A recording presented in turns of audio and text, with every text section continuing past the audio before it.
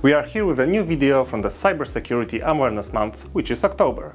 Here we will show you details how you can anonymize data of passengers and users to avoid leak of information about travel documents and contact details.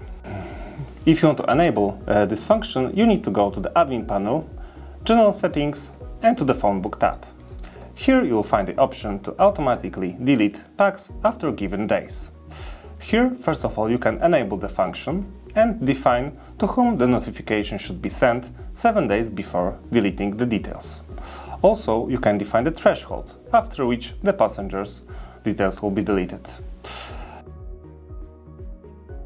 Below, you'll find option to automatically mask PAX after given days.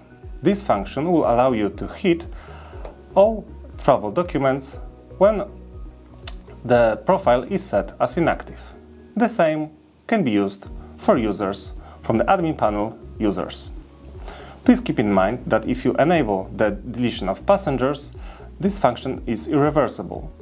So once the PAX profile is deleted, it will be gone and if needed, it, will, it needs to be added. After enabling this option, you will reduce the possibility of data leaks after anonymizing the data of users and passengers.